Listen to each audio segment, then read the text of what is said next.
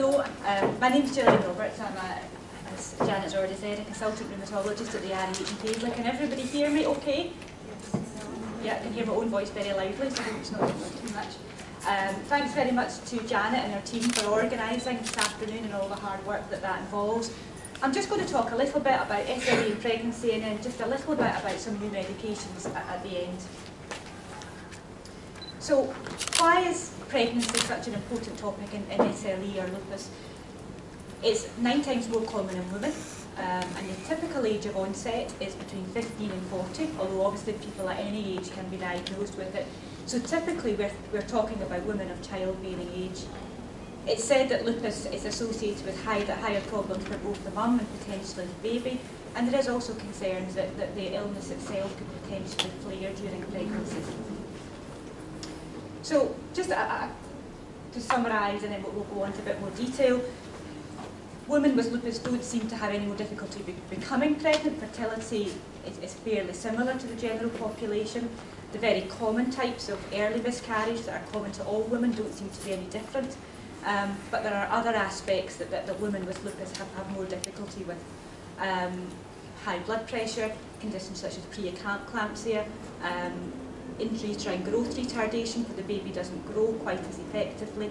Um, babies being born early and babies being born um, with a lower weight than ideal appear to be a bit more common in women with lupus. How big a problem is this? Now there's been lots of studies done throughout the world um, looking at this to try and work out is this a problem and how big is a problem and what can we do about it. There was one particular lupus clinic in Barcelona looked at these risks in, in their own population of pa patients which is relatively similar to our population here in Scotland. Um, they looked at um, 60 women who between them had had 103 pregnancies, a reasonably long time ago now. Um, and this was published in the British Society of Rheumatology's journal in 2002. One of the things they wanted to look at are, are do women, does lupus flare more commonly in pregnancy than normal? And that, that's the perception, and was this correct? Um, looking at this, they felt that two-thirds of, of women had a problem with their arthritis flaring up, um, and a third of women felt that their skin had got a little bit worse. Kidneys flared up in some people. Overall, they felt it was towards the end of the pregnancy um, and after the baby was born. They compared this to women who weren't pregnant and felt it was maybe slightly higher, but overall there wasn't a massive difference. However, what they did stress was that there was a massive difference in women who had become pregnant when their lupus was active, as opposed to women whose disease was nice and quiet at the time they had become pregnant. And they looked at this specifically. So women who had um, their disease was well under control. And they looked at the difference of complications. Um, a complication of high blood pressure and other complications later on in pregnancy called preeclampsia was much more common in women whose disease was active.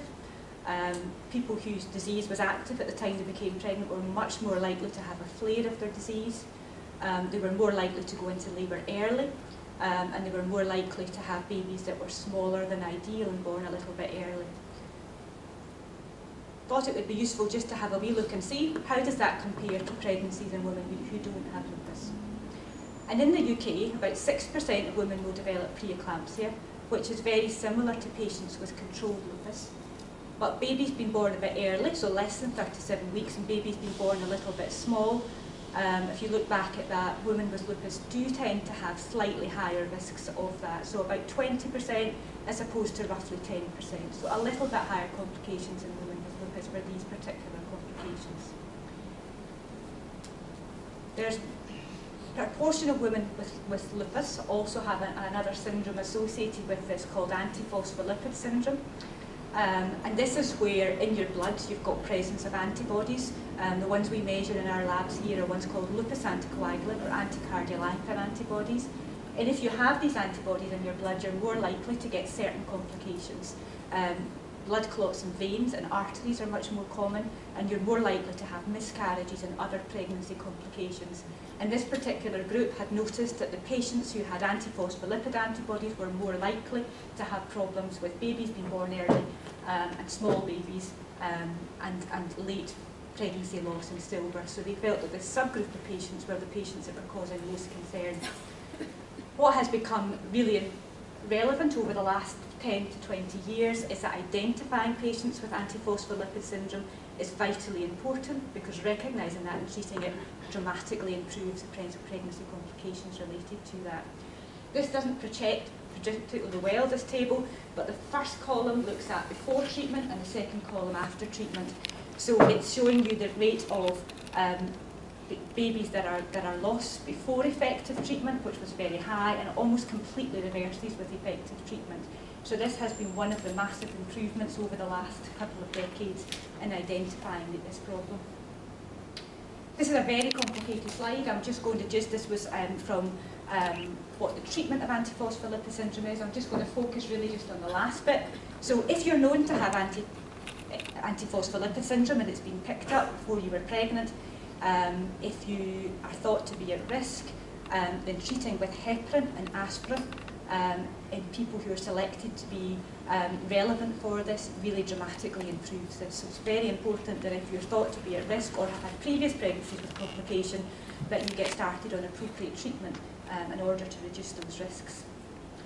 Um, so like lots of things with lupus, it's never entirely clear cut as to what the treatment is. Um, at the moment, if you've got these antibodies but never had any problems, it might be advisable not to have any treatment. But if you've had previously pregnancies with complications, it's essential that you get you get treatment, and most obstetricians would recommend that aspirin and heparin injections would be the most effective treatment. The other big area of concern um, is, is women with lupus who have, who have kidney problems, and they are felt to be the other risk group that are slightly higher. Um, if you've got kidney impairment and you've had problems with lupus nephritis, you're more likely to have high blood pressure and then more likely to have some of the other complications such as preeclampsia um, and problems with growth retardation um, and babies being a bit smaller than they should be. Um, this particular group looked at this and felt that the risk was a little bit higher, but those women whose, whose kidneys were very well under control for six months or so before their pregnancies had pretty good outcomes. And again, focusing on the fact that we need to time this and do this pretty well. So, people always worry when, when they have an autoimmune condition, can my antibodies cause problems and can the antibodies pass through the placenta? Well, in a, in a very small proportion of women, they, they, they can, particularly if you've got antibodies in your blood called Ro or La antibodies. And there's a condition called neonatal lupus syndrome where the antibodies pass through the placenta and it can cause quite dramatic rashes in babies, an example of that there. It can cause some blood and liver blood test abnormalities, but it's very temporary and it can look quite dramatic. Things usually settle down after a relatively short period of time. But it's important that people are aware that this might happen and your obstetrician is aware this might happen but it settles down and the antibodies um, settle again. One aspect that's potentially of a bit more concern of women who have these antibodies, these Ro and La antibodies in their blood, which um, your rheumatologist should know whether you've got these antibodies. It occurs very, very rarely in, in all women, and there is a small risk, a tiny risk of 0.005%, but it's a little bit higher in women who have these antibodies. And again, it's something that your obstetrician would be aware of and would do um, a fecal, fetal heart scan, and if it's very, if it's picked up, then there can be effective treatments such as a pacemaker for the baby put in place. And this is where the baby's heart would be slower than ideal and might need a pacemaker to correct it. So it's, it's very rare even in women with lupus um, and it can be effectively diagnosed and treated effectively if you know about it in advance. So what medicines are safe and what medicines are not safe in, in women who are wanting to become pregnant and have lupus? Well, hydroxychloroquine, which is a, a very commonly prescribed anti-malarial drug, is safe and can be taken all the way through pregnancy and breastfeeding and in fact would be actively recommended for women to take rather than to discontinue. There are some other medications such as azathioprine um, and a small dose of steroids that if necessary would be safe to be taken. Um, lots of people take anti-inflammatory medications for, for joint pain and other symptoms and these can be taken during the middle of pregnancy but are best avoided and there may be other ways of other pain relief that needs to be managed.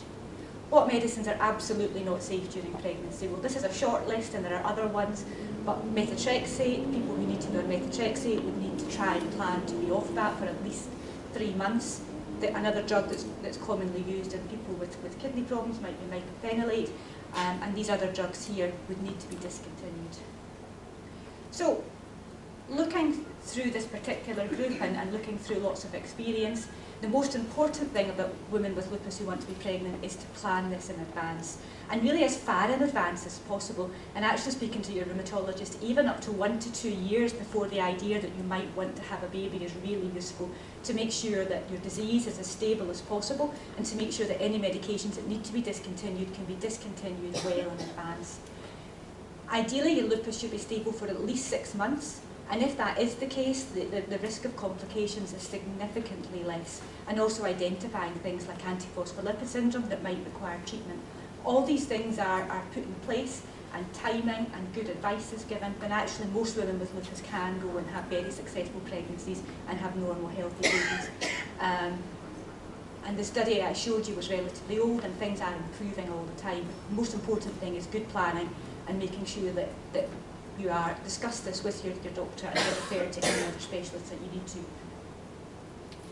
So just going to talk very, very briefly just a little bit about some, some treatments and some treatments of lupus um, throughout time. Now, corticosteroids, prednisolone being the most commonly prescribed one, dramatically changed the outcome of, of lupus in the 1950s and lots of other um, autoimmune conditions like rheumatoid arthritis.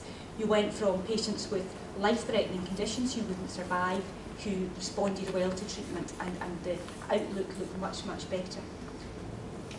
It's still, steroids are still a very important treatment, particularly for some serious manifestations, but there are lots and lots of concerns that long-term treatment with steroids can cause problems, um, and there is concern that we can cause our patients as many problems with steroids than without steroids, and they have to be used very carefully and very sparingly. Um, so we have to think as, as rheumatologists, can we use other treatments other than steroids?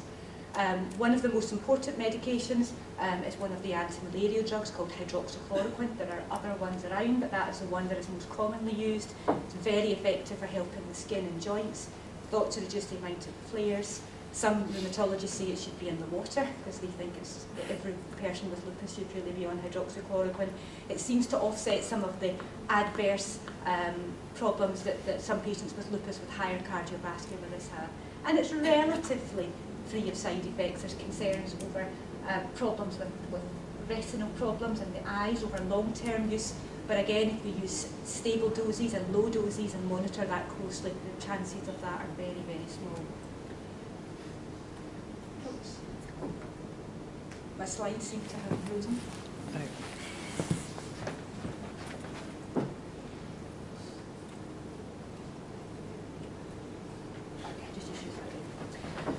Talk too much about these. There's a list of other medications that we can use for, for different manifestations of, of lupus. Um, but I was really just wanting to talk a little bit about some of the, the newer medications that and it's talking about biological medications, and as rheumatologists who also manage rheumatoid arthritis, biological medications have transformed the lives of lots of patients with rheumatoid arthritis. And it would be nice if we could also transform the lives of lots of our patients with lupus as well. Biological medications essentially means medications that are used from biological components, often antibodies, rather than being made totally synthetically.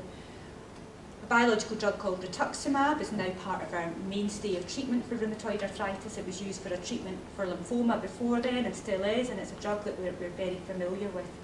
Um, it reduces um, the it controls B cells, um, and alters um, that, and it was felt that this should be very effective in lupus. So there's been some big clinical studies looking at this. Um, the, the two main ones were one called LUNAR that looked at women, uh, looked at patients with lupus and kidney problems, and one that looked at patients with other sorts of lupus manifestations. But unfortunately, neither of those studies managed to convincingly show that rituximab was a very clear and good treatment. Anecdotally, a lot of rheumatologists have used this um, for patients who haven't responded to other treatments and have felt that in isolated cases it has been useful. Um, but the big studies so far have not been convincing for this to be a mainstay treatment of, of, of lupus. There's a study um, currently ongoing in London called RITUXILUP um, by Liz Lightstone and her team there, um, who really want to de devise a way to treat lupus nephritis um, which is one of the most serious manifestations of lupus, using rituximab and mycophenolate, essentially to avoid using steroids. As I was saying earlier, we want to minimise that. We're still waiting for the results of that, and we're optimistic that we may get some improvements um, in our treatment options. Um, the only other drug I wanted to mention is a drug called belimumab, which is the only drug that's actually been approved for use in SLE. All of our other drugs we have stolen from other conditions and, and used it. Um, it's a monoclonal antibody that binds to a, a type of, of B cells called B lymphocytes, which gives it a nice name of bliss.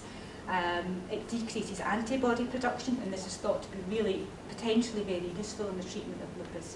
There was two major trials, that you get the, the nice names of Bliss 52 and Bliss 76. Um, there was some aspects of these trials that felt that this might be very effective in, in lupus. Some aspects of the trials thought it wasn't really very clear. Um, in the USA, they were, they were reasonably happy with this and it's become a standard treatment. Um, NICE and the, and the Scottish equivalent, the SMC, have really felt that we don't have convincing evidence from these studies yet and we need more studies to find out its place. Um, and it's really not a standard treatment um, for lupus as yet, but there's still ongoing work to see could drugs like this or similar drugs to this be used in some patients with lupus in order to improve on the treatments that we already have. Why is it so difficult to find new treatment in SLE? In rheumatoid arthritis, we've been finding new treatments all the time, and although we haven't managed to cure rheumatoid arthritis, we've managed to make big impacts. We haven't managed to do that quite successfully as yet in lupus. As mentioned earlier on, we are decades away from, from cure or effective treatment in lupus. Um, it's a complicated multi-system illness. Um, there are very rarely two people with exactly the same manifestations of their illness. Um, different aspects of the disease often require different types of treatment. Um, clinical trials so far have allowed people to stay on their steroids and other treatments and that has made it really difficult to work out whether the new drugs are helping or not. Um, it's difficult to monitor it and to get work out in clinical trials. You might get your skin gets better, but one other aspect gets worse. Is that a good outcome or a poor outcome? And it has been very difficult so far to really prove that these new treatments, where their role is in everyday treatment of lupus. So we're still working on it and hopefully things will improve over time. Um, but at the moment, um, our new biological drugs are a small part in lupus management rather than a major part in lupus management and hopefully in years to come we can have, have much better treatments. Um, and really just as I've said already, there are a lot of promising new medications in research, but not quite there, there yet for everyday clinical practice, but, but getting there. And we just need a bit more experience and a bit more time to work out which drugs are going to help which patients and hopefully make a big impact on things. And I think we're going to do questions.